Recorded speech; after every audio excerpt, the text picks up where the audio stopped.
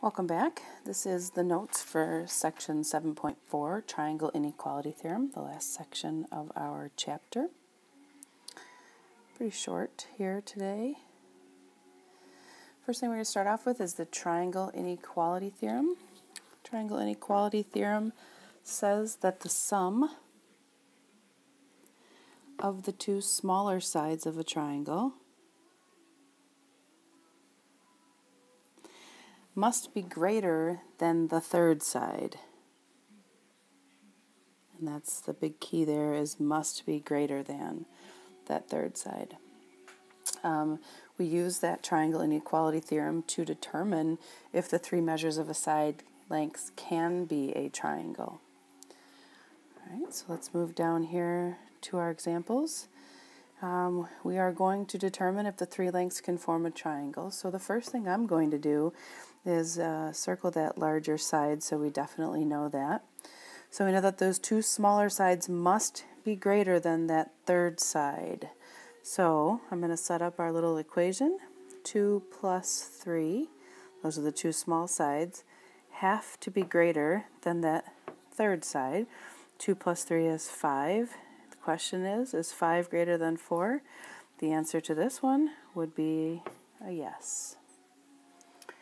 All right, and the next one, again, that's circling that um, larger side, are the, uh, the smaller two sides added together. 4 plus 5 is that greater than that third side, which is 9. So is 9 greater than 9? The answer to that question is no. So they are congruent, so they don't form a triangle.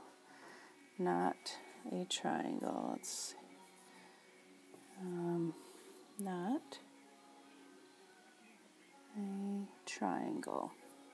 All right. Uh, moving on to that next example here. Um, suppose we have triangle um, XYZ here on the right. What are the greatest and the least possible whole number measures that yz could be.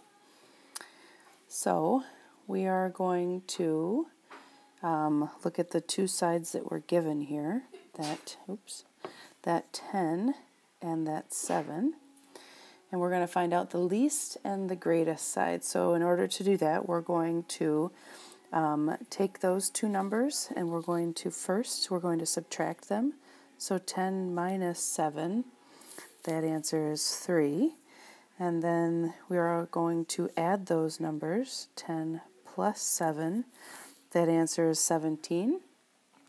So the least possible number or length that that third side could be would be 3. Um, well, that has to be greater than 3 but less than 17. So in order to figure those out, again, we took those numbers and we subtracted them to get that uh, number that it had to be bigger than, and we added them up then to get that number that it had to be less than. That's the uh, last section for Chapter 4. The homework tonight is that assignment number 4, it's worksheet 7-4, and you'll find that on the next page of your packet.